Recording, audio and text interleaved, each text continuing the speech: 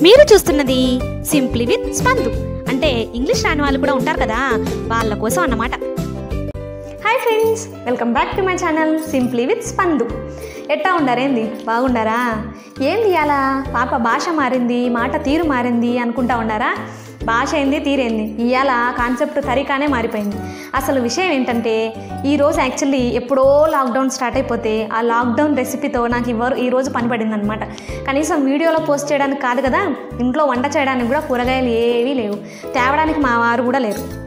So అదే ఆలోచించుకుంటూ ఆలోచించుకుంటూ రెండు పనులు ఒకేసారి అయిపోయేలాగా అదే లాక్డౌన్ రెసిపీ ఇప్పుడు పోస్ట్ చేయబోతున్నాను అనమాట ఇంతకీ ఆ లాక్డౌన్ రెసిపీ ఏంటంటే యాక్చువల్లీ ఇవాళ మీకు ఒక కథ చెప్దాం అనుకుంటున్నాను. ఒక చీమ ఏనుగు కథ అన్నమాట.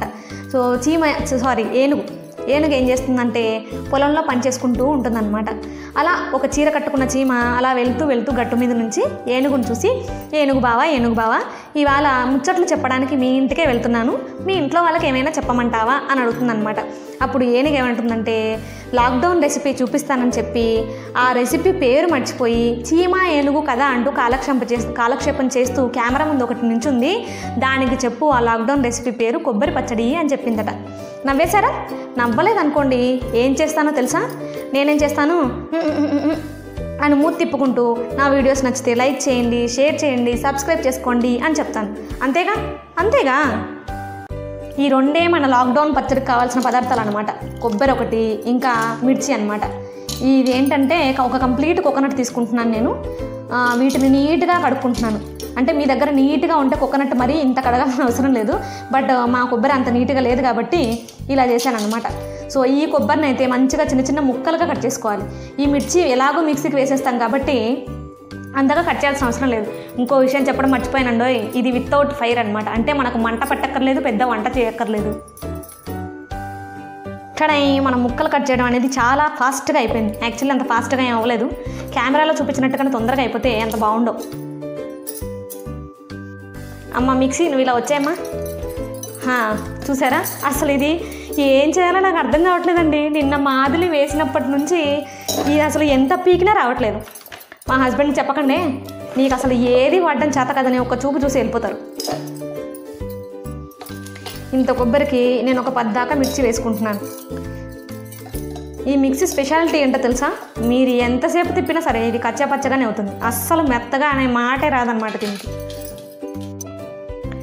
ఎలాగూ ఈ రెండే వేయమన్నానని ఉప్పు వేయడం మర్చిపోయారు. అసలు ఉప్పు వేయకపోతే ఏది ఒక పదార్థం మనం తినలేము ఇప్పుడైతే దీన్ని గ్రైండ్ చేసుకుని మీకు చూపిస్తాను గ్రైండ్ చేసిన తర్వాత దీని రూపం ఇలా ఉందన్నమాట. ఇలా కచ్చా పచ్చాగా దంచుకోవాలి. మీరు మెత్తగా దంచేశారనుకోండి ఇది నిలువ ఉండదన్నమాట. సో ఇది రెండు రెండు మూడు రోజులు ఆరాంగా బయట పెట్టుకున్నా కూడా నిలువ ఉండేస్తుంది. సో ఫైనల్గా దీంట్లో పోపించుకుంటే చాలా బాగుంటుంది. పోపు ఇవ్వకపోయినా బాగుంటుంది. బట్ పోపించుకుంటే ఆ టేస్టే వేరబ్బా. తవ్వ చూసి భయపడకంటే లాక్డౌన్ రెసిపీస్ అంటే ఇంతే మరి. ఉన్నవాటితోనే అడ్జస్ట్ అయిపోవాలి. ఫర్ ఎగ్జాంపుల్ ఇక్కడ నాకు కావాలి లేవు. ఏదో జీలకర్రతో మేనేజ్ చేస్తున్నాను. మీరు మాత్రం ఆవాలు ఉంటే తప్ప కంపల్సరీగా వేసుకోండి.